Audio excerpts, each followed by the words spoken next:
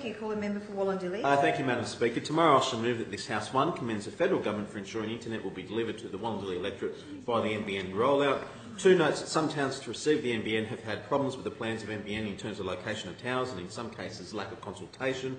Three notes that some sites proposed by NBN have not been acceptable, including the Mount Hunter site. Four thanks to the community for voicing their concerns to improve services across the region.